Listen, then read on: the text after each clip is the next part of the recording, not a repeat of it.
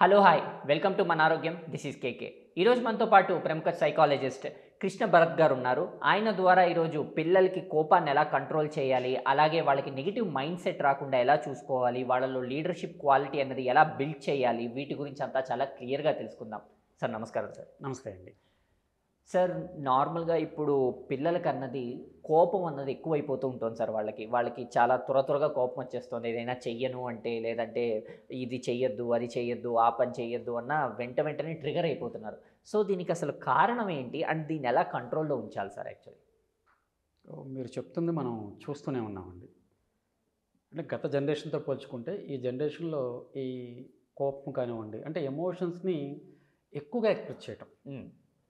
ఒకటి చెప్పండి కొంచెం ఎక్కువగా ఎక్స్ట్రీమ్ కొంచెం ఎక్కువగా. ఎక్స్ట్రీమ్గా ఎక్స్ప్రెస్ చేయడం అనేది మనం గమనిస్తూ కొంచెం. అర్జున్ రెడ్డి స్టైల్ దానికి కారణం ఏంటంటే ఎమోషనల్ రెగ్యులేషన్ అనేది లేకపోవటం సో టోటల్గా ఇప్పుడు ఎలా ఉందంటే మన విద్యా వ్యవస్థ కానీ మన ఉన్న చుట్టూ ఉన్న ప్రపంచం ఎలా ఉందంటే ఎమోషనల్ లిటరసీ అనేది పిల్లలకి అందట్లేదు మనం ఈరోజు లిటరసీ గురించి ఆలోచిస్తున్నాం పిల్లలు. బాగా చదువుతున్నారా మార్కులు బాగా. వస్తున్నాయా వీటి. గురించి ఆలోచిస్తున్నాం కానీ. ఎమోషనల్లీ తను ఎలా ఎదుగుతున్నాడు ఆ తన చుట్టూ ఉండే ఎమోషన్స్ని తను ఎలా డీల్ చేస్తున్నాడు వాటిని ఎలా అర్థం చేసుకుంటున్నాడు తన ఎమోషన్స్ని తను ఎలా ఎక్స్ప్రెస్ చేయాలనుకుంటున్నాడు వీటి మీద మనం అంత శ్రద్ధ పెట్టట్లేదండి. సో ఈ దీని మొత్తాన్ని కూడా ఎమోషనల్ లిటరసీ అంటారు. అంటే మన ఎమోషన్స్ ఏంటో అర్థం చేసుకోవడం ఎదుటి వాళ్ళ యొక్క ఎమోషన్స్ని అర్థం చేసుకోవడం మన ఎమోషన్స్ని ఒక పాజిటివ్ వేలో ఎక్స్ప్రెస్ చేయటం. ఈ మొత్తాన్ని మనం ఎమోషనల్ లిటరసీ లిటరసీ అంటాం. సో ఈరోజు అది లేదు. మనకి సొసైటీలో ఎక్కడ పిల్లలకి ఎక్కడ దొరకట్లేదండి. దొరకట్లేదు ఒకప్పుడు అంటే మనకి ఇంట్లో కావచ్చు. లేదా స్కూల్స్లో కావచ్చు పెద్దవాళ్ళు ఉంటారు పెద్దవాళ్ళు టీచర్స్ పద్ధతి వేరుగా ఉంటుంది. ఎగ్జాక్ట్ సో వీళ్ళకి ఒక స్పెషల్గా ఒక సిలబస్ లేకపోయినా ఇండైరెక్ట్ ఫామ్లో ఈ లిటరసీ అందేదండి. ఎస్ ఎలా ఉండాలి కోపం వచ్చినప్పుడు ఎలా ఉండాలి సంతోషాన్ని ఎలా వ్యక్తం చేయాలి. బాధపడితే ఏం చేయాలి ఇలాంటివి అంటే ఆ ఎమోషన్స్ని ఎలా స్ట్రీమ్లైన్ చేసుకోవాలి? వాటిని ఎలా రెగ్యులేట్ చేసుకోవాలి అనేది ఇన్బిల్డ్గా ఉండేది సొసైటీ. సొసైటీలో. Correct correct correct. ఇప్పుడు ఆ ఆ సిస్టమ్ దెబ్బతింది. ఇప్పుడు న్యూక్లియర్ ఫ్యామిలీ అయిపోవడం వల్ల ఈ మారిన పరిస్థితుల వల్ల సమాజంలో అనేకం వచ్చాయి కదండి. వీటి వల్ల ఏమంటే ఆ ఇన్బిల్డ్గా ఉండే సిస్టమ్ దెబ్బతినిపోయింది. దెబ్బతిని ఇప్పుడు ప్రత్యేకంగా దాన్ని ఒక సిలబస్ లాగా ఇంట్రొడ్యూస్ చేయాల్సిన పరిస్థితి ఏర్పడింది. Correct correct. దాని మీద ఫోకస్ చేయట్లేదు మనం.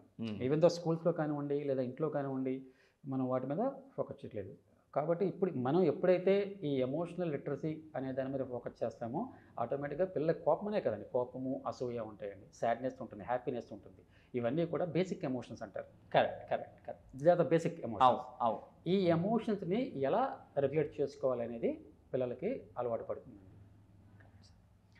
సో సార్ ఇప్పుడు అంటే వాళ్ళకి కోపాన్ని కంట్రోల్ చేయడానికి పేరెంట్స్ ఎలాంటి టిప్స్ ఫాలో అవ్వాల్సి వస్తుంది? ఎందుకంటే ఎక్కువ ఎక్కువగా రెస్ట్రిక్ట్ చేస్తేనేమో రెబల్ అయిపోతారు. వదిలేస్తేనేమో ఇంకా విచ్చలవిడిగా అయిపోతారు. సో దీన్ని ఈ కోపాన్ని ఎలా కంట్రోల్లో పెట్టాలి పేరెంట్స్? మీ ప్రశ్నలోనే సమాధానం ఉంది. పేరెంట్స్. సో పిల్లలు అంటే ఒక ఎమోషన్ని ఈ రూపంలో ఎక్స్ప్రెస్ చేయాలని ఎలా తెలుసుకుంటారండి వాళ్ళు? ఎలా అంటే అంటే ఆ పేరెంట్స్ ఉండేదాన్ని బట్టి పేరెంట్స్ని చూసి తెలుసుకుంటారు మ్యాక్సిమం పేరెంట్స్ చూసి తెలుసుకుంటారు. అంతే. అంటే వాళ్ళు parents number one source parent. Yes ఆ తర్వాత టీచర్. టీచర్స్ స్కూల్లో టీచర్. Next peer group. తన చుట్టూ ఉండే ఎగ్జాక్ట్లీ పిల్లలు. ఎగ్జాక్ట్లీ సో ఈ ముగ్గురు నుంచి వీళ్ళు తీసుకోవడం జరుగుతుందండి. Hmm. ఒక ఎమోషన్ని నేను ఏ సందర్భంలో ఎలా ఎక్స్ప్రెస్ చేయాలి ఎక్స్ప్రెస్ చేయాలి. అందులో ఇంపార్టెంట్ థింగ్ పేరెంట్స్.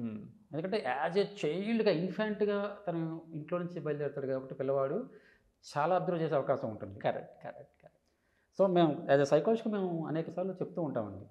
పిల్లలు చెప్తే వినరు. చూసి నేర్చుకుంటారు. మీరు కోప్పడద్దు. నువ్వు కోపాన్ని కంట్రోల్ చేసుకో అని మనం లెసన్స్ చెప్తే వినరండి. We become a role model correct. మనం రోల్ మోడల్గా ఉండి కోపం ఉన్నప్పుడు మా అమ్మ ఎలా ప్రవర్తిస్తుంది?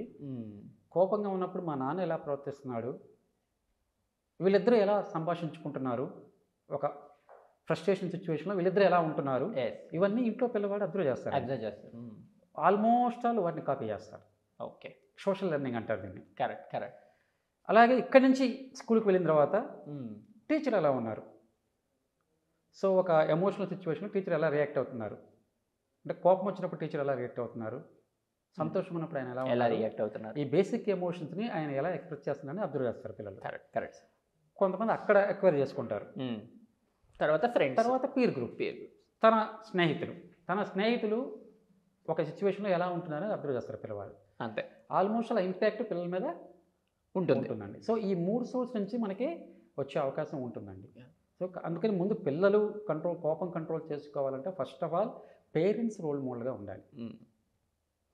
చేసి రోల్ మోడల్గా ఉంటే మీకు ఏంటంటే సైకాలజీ ఏం చెప్తుందంటే అండి అప్ టు ఫిఫ్త్ ఇయర్ వరకు పిల్లలు. వాళ్ళకి వచ్చే ఇంట్రాక్షన్స్ చాలా ఇంపార్టెంట్ అండి.